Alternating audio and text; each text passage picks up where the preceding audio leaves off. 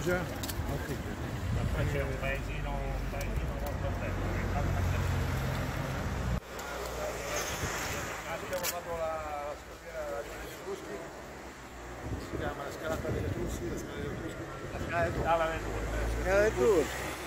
Vediamo il giro per andare a vedere le saline su a Marsala, poi rientriamo su Palermo e scendiamo da parte delle Caronie, dove giravano i treni.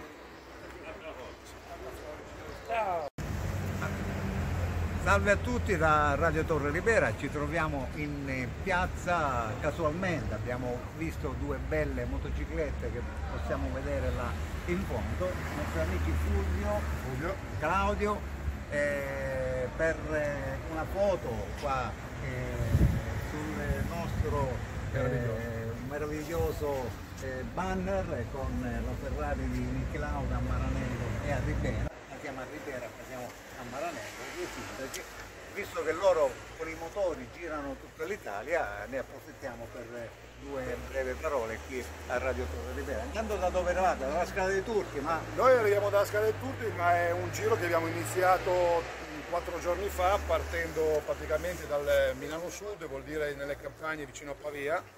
E io e il mio amico Corso, che è come se fosse mio fratello, eh, abbiamo 60 anni con 20 giorni di differenza, e sono più di 20 anni per festeggiare 60 anni. per festeggiare 60 anni. Auguri, quando facciamo gli auguri? Grazie.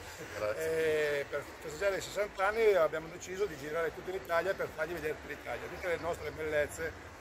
E quindi costeggiamo l'Italia da sinistra scendendo dall'Adriatica, abbiamo fatto Bari, a eh, Osturno di Matera, Matera Alberobello, da Brindisi fino a Reggio Calabria, tutta la costiera quindi Aspromonte. Tutta la nostra bella È Italia. meraviglioso. Adesso stiamo girando tutta la Sicilia per poi rientrare in Italia facendo la costiera amalfitana e a metà strada tagliare tutta l'entroterra della Toscana su fino a Norcia e via via Sisi, Gubbio, eccetera, eccetera. Insomma un viaggetto di circa 7-8 mila chilometri. Ci sono voluti 60 anni per programmarlo, quindi è un bel... Ci è voluto 60 anni, entrambi le mogli d'accordo, i figli grandi, già usciti di casa e noi un tempo per. Eh, vabbè, no, noi eh, questo incontro così piacevole fra i, motori, eh, abbiamo a- anche il nostro Nino qui eh, che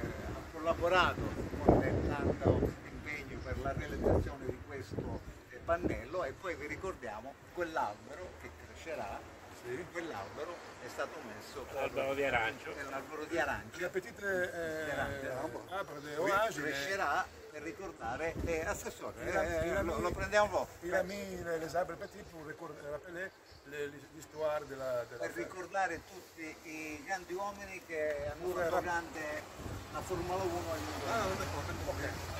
Tra l'altro c'è un assessore Eh, del... Totò è il nostro operatore, la- l'assessore all'agricoltura del comune di piacere. Questo incontro in diretta. Io mi sposto In, in diretta andiamo a vedere l'albero, così l'assessore all'agricoltura vi spiega un'altra, un'altra delle situazioni. Questo è il palazzo municipale. Adesso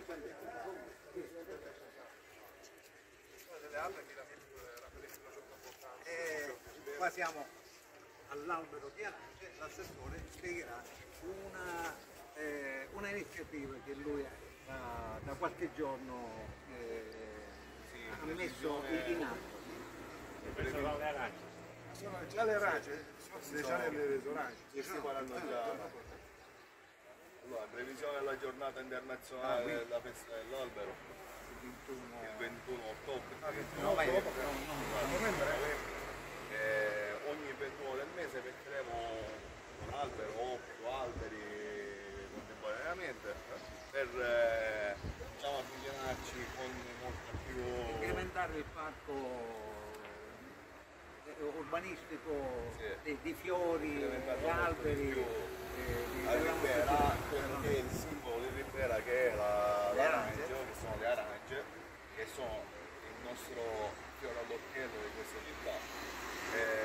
E cercare di mettere quanto più alberi di arance possibile all'interno del nostro paese. Sì, sì, cioè, eh, ne ha visto tantissimo, non ci credeva neanche lui. quante arance presso il resto, ci sono avvallate, ho detto andiamo a Rivera e ci siamo arrivati. Quando e- Questo è il periodo che già praticamente è finita, Zagara. è, è- è in quasi infinitura la Zagara, che sarebbe il fiore, Il fiore dell'arancio. fiore Noi, noi salutiamo, così la mettiamo nella nostra pagina, salutiamo i nostri amici su Facebook. Ok. Allora, grazie. Grazie a Nino. E ritorneremo sicuramente perché insomma il paese merita e, E ringraziamo Toto Castelli, il nostro operatore, il nostro videomaker. Ah, videometro.